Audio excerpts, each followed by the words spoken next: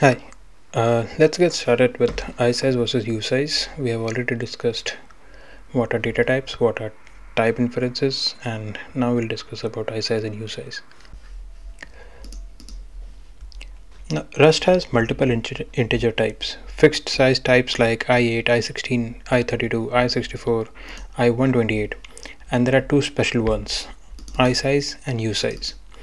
Now, i size and u size are pointer size integers, which means their size depends on the system architecture.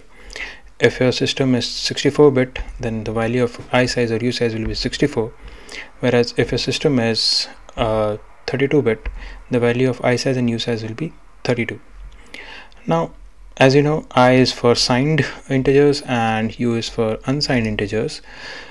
i size, unsigned or, or, signed integer whose type depends on the platform target like it cannot store negative and positive it can store negative and positive values but it will totally depend on the target platform on which the code has been used.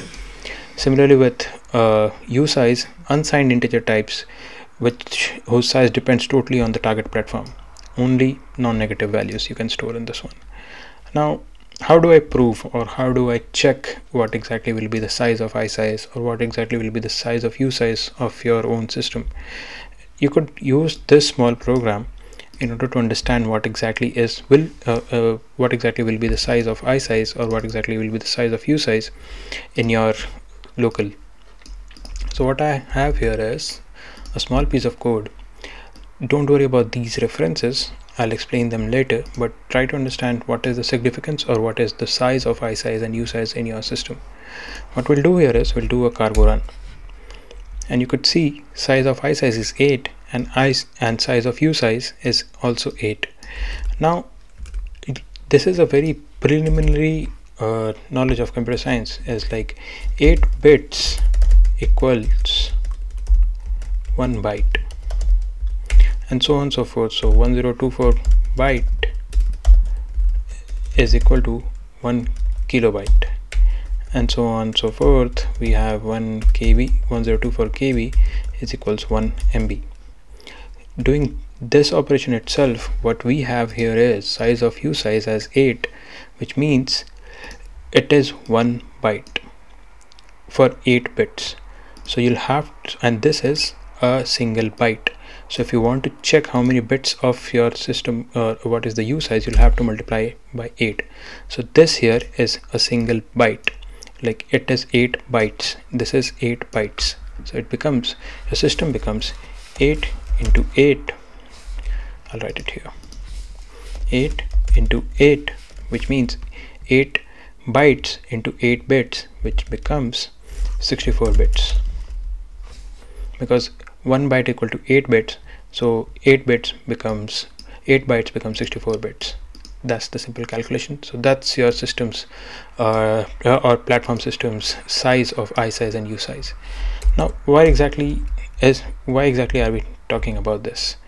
If I go back to the notion doc so say suppose you are doing indexing uh, of a list or you want to traverse over a list uh, in, in Rust. What you should prefer is basically a u size. Because it, it if it, it, it doesn't make sense to use i32 actually because it, the rust compiler won't compile itself. Like array indices must be of type u size.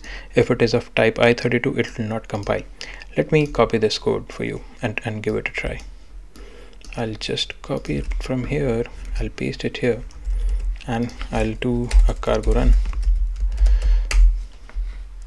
You could see here the value at index 1 is 20 and this is what we have here. But if I do it like this and I copy this part and paste it here and I do a cargo run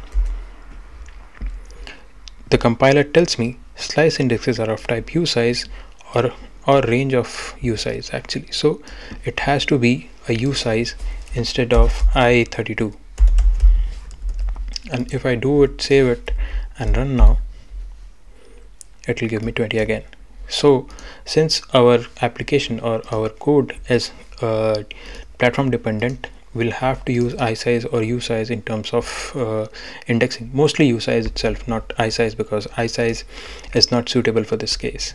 Now if, if I if I sum it up so you use usize when dealing with array or vector indices. Vector is something which we have not covered. We'll cover it in later videos. Length or you're dealing with lengths of collections actually but when should we use isize you need platform arithmetic uh, when you need to perform arithmetic that can result in negative numbers like calculating an offset between two pointers then you use isize the use of isize will be clear in uh, later videos but just keep the gist in your mind that whenever you are doing an array operation you need to use a size or if you want to traverse over or check uh, a particular index of a particular collection then you use u size and i size is used more of in terms of pointers or correct or calculating offset or difference between pointers actually.